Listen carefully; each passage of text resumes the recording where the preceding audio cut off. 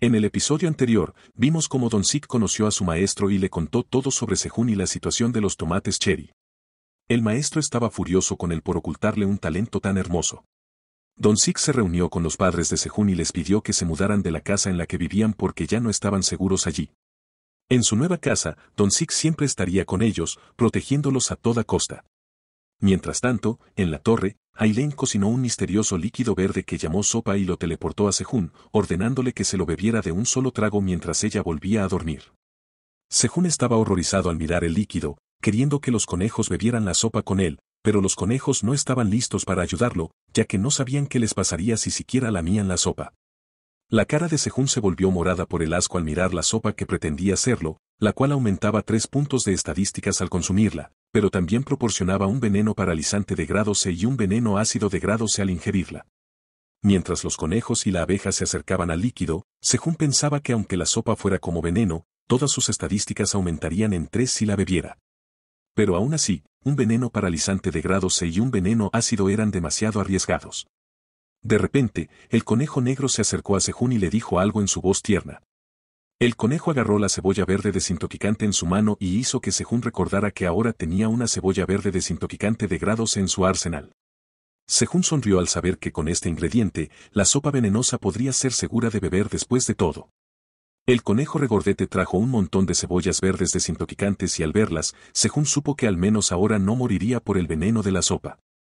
Decidió comer muchas de ellas y darse protección contra venenos de grado C plus o inferiores durante una hora. Sejún estaba listo con una cuchara una vez que su preparación estuvo completa y todos los conejos, junto con la abeja, estaban con él para hacerle compañía. Sejún seguía pensando en cómo sabría la sopa porque las imágenes no se veían muy bien, pero finalmente tomó la sopa en una cuchara y se convenció a sí mismo de darle un bocado. Tan pronto como tocó la sopa con la lengua, inmediatamente la escupió sobre el conejo regordete y la abeja. Comenzó a vomitar inmediatamente y el conejo regordete y la abeja estaban enfadados por su comportamiento. Sejún se disculpó con los conejos y las abejas, diciéndoles mientras lloraba que el sabor de la sopa era horrible. Incluso quería creer en el dicho de que cuanto peor saben las medicinas, mejor son, pero no funcionaba en esta situación. La ventana de notificación estaba apareciendo una tras otra, diciéndole a Sejún que había sido desintoxicado. Sejún estaba muy enojado con Eileen, llamándola una mocosa alada. Pensó que como Eileen ya no lo necesitaba, en realidad quería matarlo. Ahora era cuestión del ego de Sejún y decidió que se bebería toda la sopa de Eileen de una vez. Levantó el recipiente de la sopa, dejando a los conejos completamente sorprendidos. La cara de Sejún se volvió pálida mientras bebía la sopa poco a poco, pero sabía que podía hacerlo. Pero al abrir los ojos, Sejún vio que había una criatura amorfa mezclada dentro de la sopa. Se quedó en shock por esta revelación y lanzó el caldero lejos de él en estado de shock. El recipiente fue arrojado al agua y todos se quedaron sorprendidos al mirarlo. Pero la notificación volvió a aparecer y Sejún se quedó en shock. Y todos se quedaron sorprendidos al mirarlo. Pero la notificación apareció, diciéndole a Sejún que había consumido toda la sopa de salud de Eileen y que todas sus estadísticas ahora se habían incrementado en tres. Sejún miró la notificación con alivio, mientras se enteraba de que había logrado beber toda la sopa y adquirió tres puntos de estadísticas. De repente, empezaron a aparecer notificaciones, diciéndole a Sejún que debido a la sopa, muchos peces grises y pirañas estaban siendo asesinados en el estanque. Pero aún le esperaban sorpresas. Una notificación apareció, informándole que había matado a una anguila eléctrica gigante y ahora había adquirido 5.000 puntos de experiencia.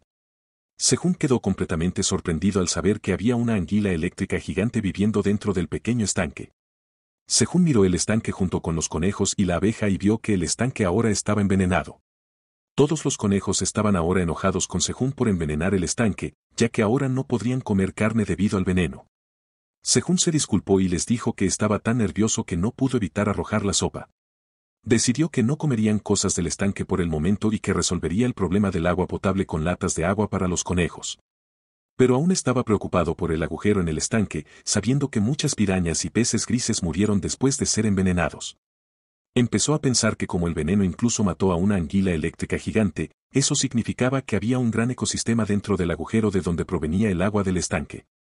La cantidad de pirañas y langostinos que fluían hacia el estanque había disminuido, pero si Sejún encontraba una manera de entrar en su ecosistema, podría obtener diversas fuentes de proteína en el futuro.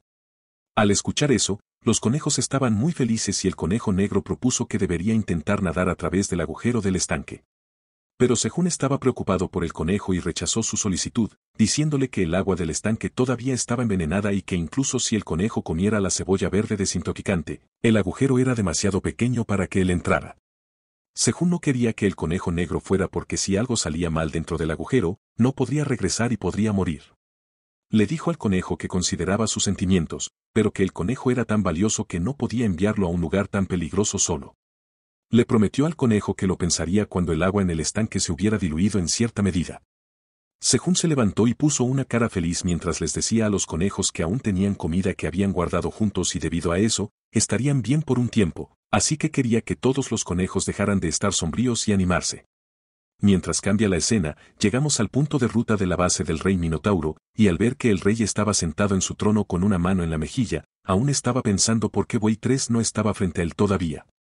Se preguntaba si Buey 3 se había olvidado de la orden del rey y le preguntó a Buey 1 si Buey 4, quien fue a buscar a Buey 3, había regresado o no. Pero Buey 1 informó al rey que ni siquiera ella había regresado de su misión.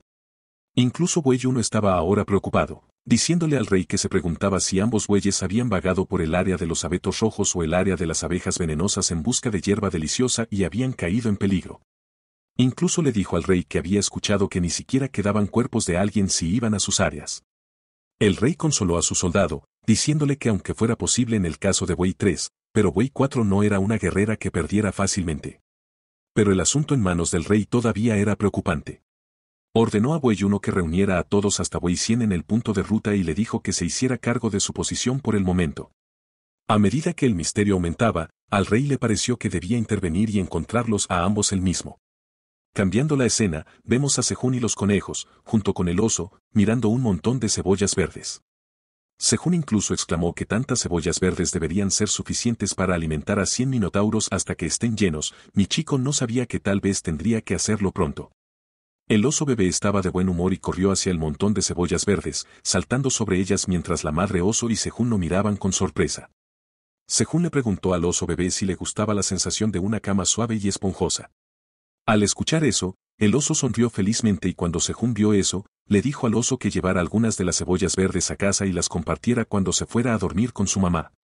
De repente, apareció una notificación, diciéndole a Sejún que el deseo de una buena cosecha nivel 1 estaba ahora activado y que 70 pion de campo de cebolla verde ahora estaba bendecido con una buena cosecha. Debido a su efecto, la tasa de cosecha se incrementó en un 50% para la próxima semana. Sejún estaba feliz hasta la médula al conocer este efecto de su habilidad.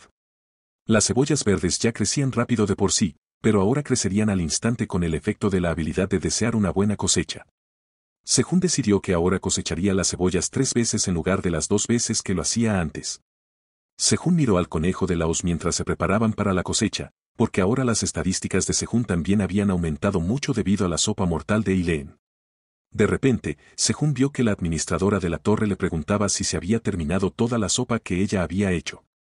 Al ver la notificación, Sejún estaba feliz mientras flexionaba sus músculos frente a la notificación, diciéndole a Eileen que sí, que de hecho había bebido toda la sopa e incluso había subido de nivel gracias a ella. Pero de repente, Eileen quería saber cómo sabía la sopa, lo que dejó a Sejún en estado de shock. Ni siquiera quería recordar el sabor de la sopa mortal, pero al ver que la administradora de la torre estaba triste y preguntaba si la sopa sabía mal, inmediatamente le dijo a Eileen que la sopa estaba deliciosa y que esa era la razón por la que la había terminado toda de una vez. Incluso le dijo a Eileen que la sopa sabía tan bien que valía la pena morir por ella. Al escuchar esto, Eileen estaba nuevamente lista mientras sostenía su olla de cocina, diciendo que haría otra si a Sejún le había gustado tanto. Al escuchar eso, Sejún detuvo inmediatamente a Eileen y le dijo que como ella había usado toda su energía por hacer la sopa para él, no necesitaba hacerla nuevamente. Sejún le dijo que le gustaba charlar con Eileen y que no necesitaba agotar toda su energía por él. Sejún le dijo que él se encargaría de cocinar y le gustaría dejar que Eileen comiera comida deliciosa y mejor. Intentó convencer a Eileen de que no necesitaba esforzarse tanto para cocinar más, pero en el fondo, Sejún solo quería que Eileen aceptara sus peticiones, para que no tuviera que probar la sopa mortal nuevamente. Por otro lado, Eileen estaba completamente desconcertada y sus mejillas estaban rojas al pensar que Sejún estaba pensando tanto en ella. Se rió frenéticamente y golpeó el pilar de su habitación, incapaz de controlar su emoción y rompiendo el pilar en pedazos.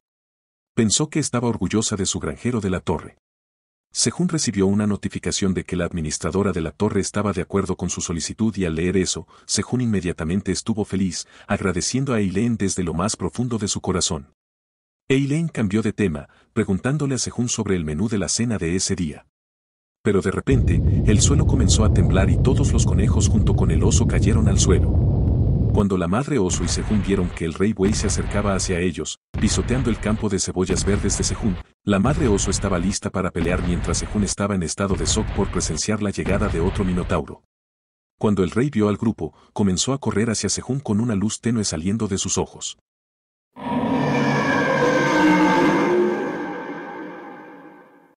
Y con eso, este capítulo llega a su fin. No olvides darle like, comentar y suscribirte. Gracias por ver.